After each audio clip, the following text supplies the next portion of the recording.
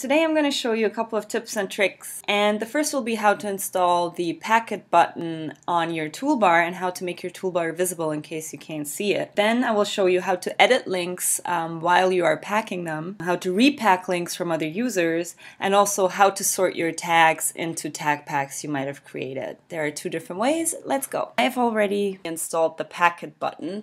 Um, I don't know if you have done that already. If not, if you can't see the toolbar, for example, what you can do is in your browser, and I'm in Chrome right here, but it's very similar in Firefox as well. You click on this little menu here, go to bookmarks, and hit show bookmarks bar, in which case you can then um, just add the Pack it button um, via the bookmarklet button up here. I've picked this particular recipe here to pack. As I have the Pack it button in my toolbar already, really all I have to do is click it and then it will come up, this little dialog window here, and I can adjust the title as I please. So for me, I just want to know um, what the title is exactly. I don't need the medium that it came from.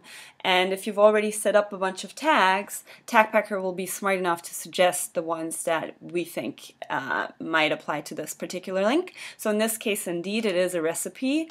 Um, I could tag it with salad, which as you can see is a new tag for me, and maybe pumpkin, which I already have.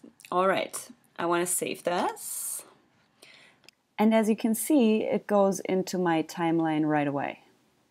If I want to look for anything that contains cucumber, for example, I can just insert cucumber in this little search bar up here and it will give me not only the tag but also the recipes that contain cucumber.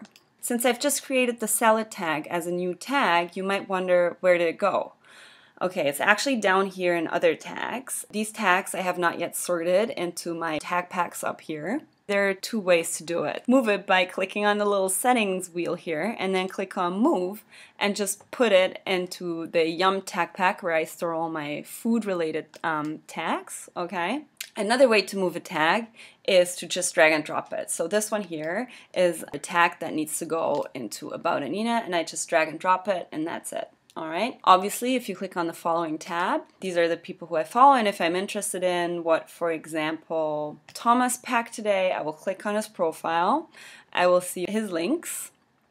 And I get a chance to repack it too, which is basically adding his link to my timeline from where then I can resort it into one of my collections. If you have any questions, um, please do not hesitate to send us feedback uh, it's actually very easy and we're very interested because we keep improving TagPacker and we just really like to know your thoughts.